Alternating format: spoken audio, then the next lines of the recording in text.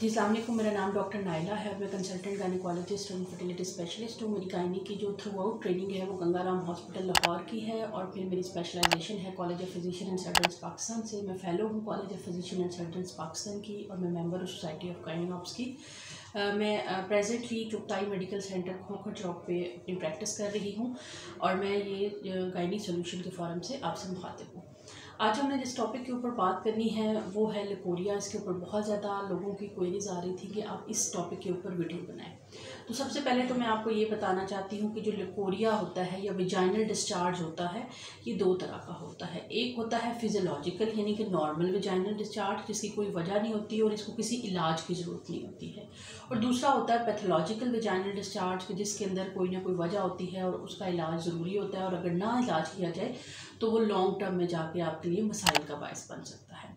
तो जो physiological discharge है, उसके बारे में मैं ये बता दूँ कि कुदरती तौर पे अल्लाह ताला ने जो विजाइना की एपिथीलियम होती है, उसको ड्राई नहीं रखा होता। वो कुदरती तौर पे क्या होती है? मॉइस्ट होती है। कुछ लोगों का जो विजाइना के जो हार्मोन है, उनकी स्क्रीशन ज़्यादा होती है, जिसकी वजह से क्या होता है कि उनको डिस्चार्ज का मसला होता है। लेकिन ऐसे लोगों को ना तो कोई इचिंग होती है लो पार्ट में ना ही कोई इरीटेशन होती है, ना कोई जलन होती है और ना ही उस डिस्चार्ज में से कोई स्मेल आती है। लेकिन जो फिज़ोलॉजिकल डिस्चार्ज वाले लोग होते हैं, उनके अंदर जो है, उस डिस्चार्ज के अंदर इन्फेक्शन होने की रेशो आम लोगों की नस्बत थोड़ी ज़्यादा होती है।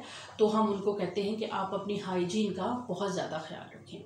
अब आते हैं दूसरी तरफ़ पैथोलॉजिकल लिकोरिया या पैथोलॉजिकल विजाइनल डिस्चार्ज जो कि किसी न किसी वजह या बीमारी की वजह से हो रहा है। तो उसको हम मेनली चार ग्रुप्स में डिवाइड करते हैं। इनमें सबसे पहले नंबर पे वो बच्चियाँ हैं जिनकी अभी माहवारी नहीं आना शुरू हुई। दो बच्चियाँ हैं जिनकी माहवारी आती है, लेकिन वो शादीशुदा नहीं है। वो ख़वातीन जो शादीशुदा हैं और वो ख़वातीन के जिनकी माहवारी बंद हो चुकी है। ये चार मेन ग्रुप्स हैं इनके अंदर हम बात करेंगे कि, कि लगोरिया की क्या क्या वजूहत हो सकती हैं। तो जो पहला ग्रुप है जिसके अंदर जो है वो छोटी बच्चियाँ शामिल हैं और जिनकी अभी तक माहवारी आना नहीं शुरू हुई है उनके अंदर जो अक्सर माएँ आती हैं वो कहती हैं कि इस बच्ची को लकोरिया का मसला है। तो उनके अंदर जो सबसे बड़ी वजह होती है लकोरिया की, वो है बैड टॉयलेट ट्रेनिंग उसमें क्या होता है कि बच्चियाँ चूँकि बड़ी हो रही होती हैं तो वो क्या करती हैं कि वॉशरूम में जब जाती हैं तो शर्म की वजह से अम्मी या अबू से नहीं कहती तो वो खुद ही अपनी जो पहाने वाली जगह उसको वॉश करती हैं तो जिससे वो क्या होता है कि वो पीछे से आगे की तरफ़ वॉश करती हैं, जिसकी वजह से क्या होता है कि पहाने के सारे जरासीम जो होते हैं, वो वजाइनल एरिया में आ जाते हैं और वहाँ पर इन्फेक्शन करते हैं. तो इसकी सबसे अच्छी जो ट्रीटमेंट है, वो ये है कि आप अपने बच्चों को प्रॉपर टॉयलेट ट्रेन करें क्यों करें कि आपने फ्रंट से बैक की तरफ़, आगे से पीछे की तरफ़ वॉश करना है ताकि जरासीम पीछे की तरफ़ जाएँ, आगे की तरफ़ ना आए। इसके अलावा कुछ जो बच्चियाँ छोटी होती हैं, उनके अंदर इम्यूनिटी कम होती है, यानी उनकी डाइट अच्छी नहीं होती है या उनको बहुत ज़्यादा कोई छोटे होते बीमारियों का का शिकार रही होती हैं, जिसकी वजह से उनकी इम्यूनिटी कमज़ोर हो जाती है और अब उनको बार बार जो है वो वजाइना के अंदर इन्फेक्शन होते हैं तो हम पेशेंट्स को कहते हैं कि अपने बच्चों की डाइट विद सप्लीमेंटेशन उसको बेहतर करें ताकि जैसे ही उनकी इम्यूनिटी बेहतर होगी। तो उसके साथ साथ ही क्या होगा, उनका वजाइनल डिस्चार्ज का प्रॉब्लम भी हल हो जाएगा। इन्हीं बच्चों में तीसरी वजह क्या होती है कि नायलॉन के या जो सिंथेटिक फाइबर होते हैं, उनके कपड़े, यानी प्योर कॉटन के अंडर गारमेंट्स नहीं यूज़ कर रही बच्चियाँ, जिसकी वजह से क्या होता है कि लोअर पोर्शन में इचिंग होती है और वहाँ पे इन्फेक्शन हो जाता है और उससे क्या होता है? वजाइनल डिस्चार्ज का मसला आना शुरू हो जाता है। चौथी वजह जो इन बच्चियों में देखी गई है, वो बहुत ही कम है। उसमें होता है कोई फॉरेन बॉडी अक्सर पेशेंट हमारे पास रेयर केसेस में आते हैं और बार बार उसको दवाई देते हैं, लेकिन वो इन्फेक्शन ठीक नहीं हो रहे होते तो फिर हम क्या करते हैं, उनका लोकल जब एग्जामिनेशन करते हैं तो पता चलता है कोई फॉरेन बॉडी छोटी मोटी उसके अंदर पड़ी होती है तो वो हमें रिमूव करनी पड़ जाती है ये बहुत ही रेयर काज है जो बच्चे अक्सर प्ले के दौरान खेलते हुए कोई ना कोई चीज़। तो इसमें हम बच्चियों को कभी भी अनड्रेस्ड ना छोड़े, हमेशा उन्हें कुछ ना कुछ पहना के रखें ताकि जो है वो ये फॉरन बॉडी वाला प्रॉब्लम ना हो। अब दूसरे ग्रुप की तरफ़ आ जाते हैं, वो बच्चियाँ जिनकी माहवारी स्टार्ट हो गई है, लेकिन अभी तक उनकी शादी नहीं हुई सेक्सुअल एक्टिविटी शुरू नहीं गई है। तो उनके अंदर सबसे बड़ी जो वजह होती है लिकोरिया की पैथोलॉजिकल लिकोरिया की वो ये होती है कि वो क्या करती हैं, अपनी मैंचुरल हाइजीन अच्छी नहीं रखती। मैंचुरल हाइजीन क्या है? कि जब मैंसेज आते हैं तो हम रिकमेंड करते हैं कि हर छः से आठ घंटे के अंदर अंदर ज़रूर अपना पैड तब्दील कर लें। क्योंकि ब्लड जो होता है वो सबसे अच्छा कल्चर होता है जिसके ऊपर जरासीम ग्रो करते हैं। कोई भी जरासीम छः से आठ घंटे में जब ग्रो करता है तो वो भी जाइना के ऊपर जा सकता है।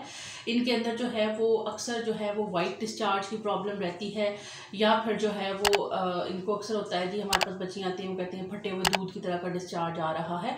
तो ये जो है वो फंगस कैनेडा के इन्फेक्शन या बैक्टीरिया की वजह से हो सकता है। रेयर कॉजेज़ में कोई वायरस भी इस तरह की कर सकता है तो वो फिर हम उनको देखते हैं डिस्चार्ज की जो नेचर होता है, उसको देखते हुए, उसके कलर को देखते होते उसमें से किस तरह की स्मेल आ रही है। उसको देखते हुए और ये देखते हैं कि वो ज़्यादातर मेंसेस के बाद होता है या मेंसेस से पहले होता है तो इस तरह की चीज़ों को हम देखते हुए क्या करते हैं कि उनका इलाज कर देते हैं। और वो यूजली चूँकि अभी हम उनको जाइनली क्रीम्स वगैरह नहीं दे सकते हैं तो हम उनको ओरल खाने के लिए देते हैं और साथ ही हम उनको सप्लीमेंट्स देते हैं ताकि उनकी इम्यूनिटी बेहतर हो, क़वत मुदाफ़त बेहतर हो और वो जरासीम के ख़िलाफ़ अपनी बॉडी की इम्यूनिटी से ख़ुद लड़ें, बजाय इनके बार बार उनको दवाइयों की ज़रूरत अब तीसरा ग्रुप आता है, वो खातन जिनकी शादी हो चुकी है सेक्सुअल एक्टिविटी वो में इन्वॉल्व हैं तो उनके अंदर दो तरह के इन्फेक्शन हो सकते हैं। एक होते हैं सेक्सुअली ट्रांसमिटेड एक होते हैं जो कि नॉन सेक्सुअली ट्रांसमिटेड होते हैं। जो सेक्सुअली ट्रांसमिटेड इन्फेक्शन होते हैं, वो उसमें गनोरिया है क्लेमेडिया है और जो और उसके अलावा कुछ और इन्फेक्शन है सिफिलिस वगैरह। तो उनके अंदर जो है वो इंपॉर्टेंट चीज़ जो है वो ये होती है कि उनके जो मेल के अंदर मल्टीपल सेक्सुअल पार्टनर्स की हिस्ट्री होती है कि वो कहीं ना कहीं से वो इन्फेक्शन एक्वायर करते हैं और वो अपनी फीमेल में आके ट्रांसफ़र कर देते हैं। ये बहुत ही जो है वो रेजिस्टेंस किस्म का इन्फेक्शन होता है और अगर इसको टाइमली ट्रीट ना किया जाए तो ये आगे जाके ट्यूबल ब्लॉकेज या बाद पूरे जो पेल्वस है उसके अंदर इन्फेक्शन का बायस बन सकता है। इस तरह के मरीज़ों के लिए जब हम आते हैं तो एक दफ़ा दवाई देने से अगर नहीं ठीक हुआ तो हम क्या करते हैं कि उसका कल्चर करवा लेते हैं ताकि पता चल जाए कि एग्जैक्टली कौन सा जरासीम जो है वो कल्चर के ऊपर ग्रो किया है।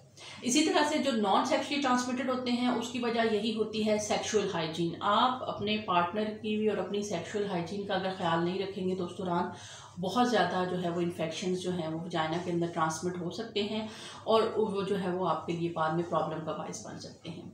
जो इस उम्र की खातन होती हैं, उनमें ज़्यादातर कंप्लेंट क्या आती है कि हमारे वाइट कलर का डिस्चार्ज है जो कि वो फंगस की वजह से होता है, उसका ताल्लुक कम्युनिटी की वजह से भी होता है यूजली प्रेगनेंसी में इसका बहुत ज़्यादा रेशो होता है और पेशेंट जो है वो सवियर इचिंग बर्निंग और जो है वाइट डिस्चार्ज के साथ प्रेजेंट करता है तो फिर हम इसके मुताबिक उसकी कंडीशन को देखते हुए दवाइयाँ देते हैं।